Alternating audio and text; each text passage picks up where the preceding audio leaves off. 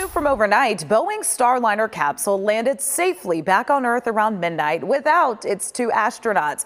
It's been docked at the International Space Station since June 6 for what was supposed to be a week-long mission, but thruster problems and helium leaks delayed its return until now.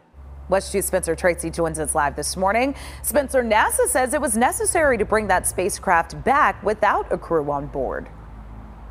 They said it was really necessary because they really have a lot to focus on. They say that their work is just beginning. Now they say it was a successful landing and that's exactly what they wanted.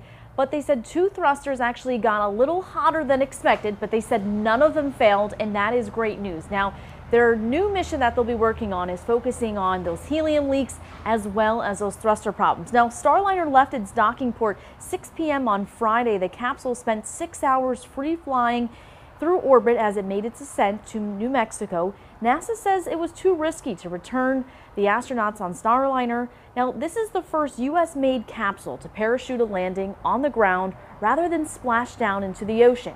Boeing says they hope this approach will make it easier to recover and refurbish a spacecraft after flight. NASA's program manager says after the successful landing, they are feeling hopeful for the future. We're really excited to have Calypso back on the ground.